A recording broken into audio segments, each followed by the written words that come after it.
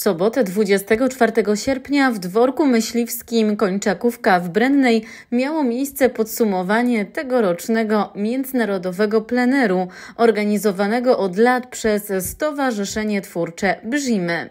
W tym miejscu, w zameczku Kończakowskiego w Brennej jesteśmy już ponad 20 lat jako grupa plastyczna.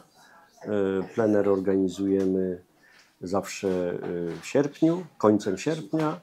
E, plener, plener mm, organizuje Stowarzyszenie Twórcze Brzymy przy współpracy Nadleśnictwa Ustroń i przy współpracy Miasta Ustroń.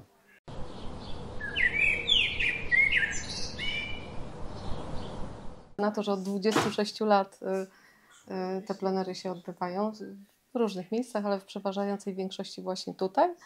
Także bardzo się cieszymy, że możemy gościć y, artystów, że przy okazji powstają tak piękne prace, które promują tutaj piękno naszego terenu.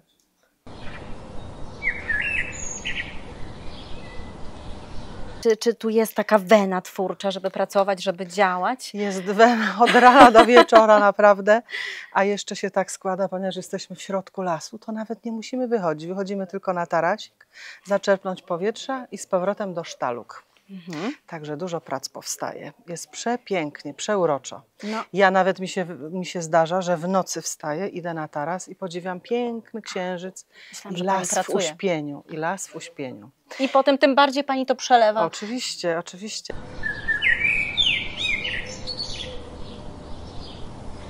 Się Panu podobało, jak Pan ocenia ten plener? Tutaj Pan Kazik nie słyszy, można powiedzieć. Aha, można powiedzieć. Nie, ja się już tutaj wybierałem od dłuższego czasu, zawsze jakoś ten czas tutaj mi, e, czasu tego mi brakowało i w końcu w zeszłym roku będąc tu króciutko odwiedzając to, o, o miejsce wreszcie zobaczyłem jak to wygląda i sobie powiedziałem, że w tym roku przyjadę koniecznie tutaj i okąpię się w rzece, czego nie zrobiłem jeszcze na razie. Dla portalu Śląska Cieszyńskiego XPL Marta Szymik.